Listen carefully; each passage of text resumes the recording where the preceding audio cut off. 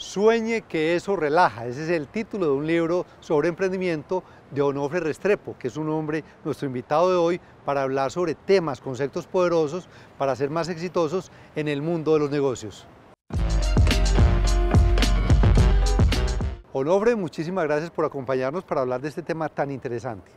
Gracias Juan, muy, eh, muchas gracias por la invitación. Pues de eso se trata, de mirar a ver qué podamos hacer a través de los sueños. En su libro usted plantea, Onofre, el arte de fracasar y ese título me llama muchísimo la atención. ¿Por qué fracasar es un arte? Efectivamente, Juan, para fracasar, así como para triunfar, es todo un arte. Eso no se logra de la noche a la mañana. Se necesita una... Nadie fracasa de, de un día para otro. Es todo un proceso. Ese proceso es el que nos lleva a nosotros muchas veces a tomar una serie de decisiones que hacen que impactemos en nuestro entorno y en nosotros mismos. Fracasar, una cosa es fracasar y otra cosa es ser un fracasado, ¿verdad? Entonces, básicamente, Juan, lo que te quiero decir es eso, que es todo un arte, eh, se necesita mucho tiempo para fracasar. Es más difícil fracasar que triunfar incluso. ¿Quién lo creyera? Es más fácil, es más fácil triunfar que fracasar.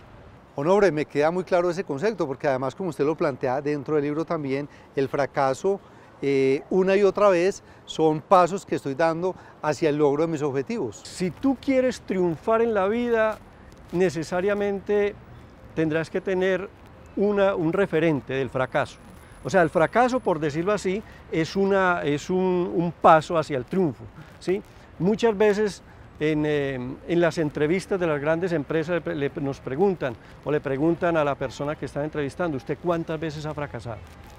¿Sí? Porque aquella persona que no ha fracasado nunca es porque nunca ha intentado hacer nada, ¿correcto? Pero cuando ya se tienen esas experiencias de fracaso, es mucho más grande los triunfos, ¿verdad? Un tema que plantea Onofre en su libro es el de aptitud sin actitud. O sea, la primera aptitud con P y la segunda con C.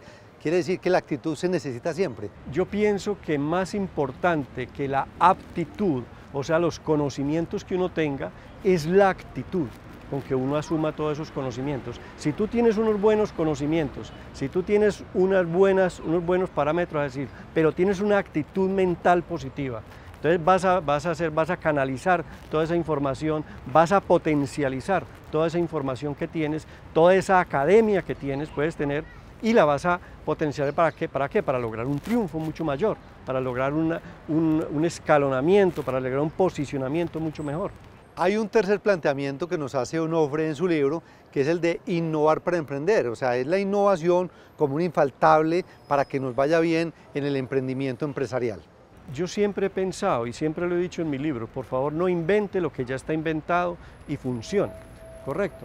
Hay que mejorar lo que ya hay, lo que ya existe de tal forma que el emprendimiento requiere mucha parte de innovación, o sea, qué hay en nuestro medio, qué hay en nuestro entorno, qué hay en el mercado y cómo podemos mejorar eso para darle una mejor, un mejor rendimiento. La parte de innovación es de vital importancia, es una es creatividad. Si yo tengo, por decir algo, la cámara que me está enfocando en este momento y yo pienso y yo veo cómo puedo mejorar esa tecnología, mucho mejor, pero ya está, ya está la parte, la parte básica, que es la cámara. Hay que innovar para poder emprender. El emprendimiento es solamente eso, ¿sí? un constante desarrollo de ideas. Por ahí dicen Onofre que el sentido común es el menos común de los sentidos y usted le dedica un capítulo especial, tanto en sus talleres y conferencias como en su libro, a la importancia del sentido común en el emprendimiento. Cuéntenos sobre eso. Napoleón Bonaparte decía que para triunfar en la vida se necesita ante todo tener sentido común. Como tú lo dices, esa, esa frase de cajón que dice que eh, el sentido común es el menos común de los sentidos, es cierto.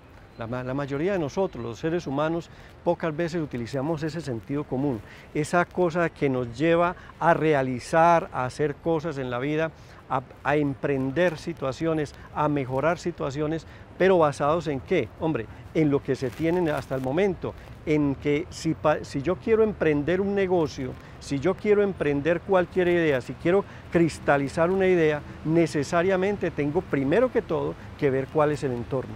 ¿sí? En dónde estoy, para dónde voy, o sea, qué es lo que quiero impactar con esa idea.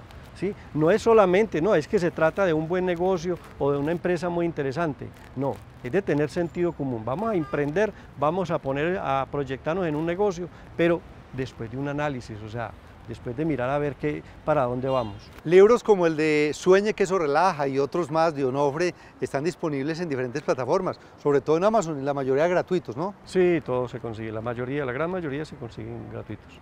Bueno, así que invitamos a los emprendedores a seguir a Onofre y a adquirir estos libros porque es conocimiento útil para que nos vaya muy bien en el mundo de los negocios. Onofre, muchas gracias. A ti Juan, muy amable, gracias por tu invitación y bueno, los espero ahí con todos mis libros que están a toda disposición del público. Muy bien, este es Negocios en tu Mundo, inspiración para la acción.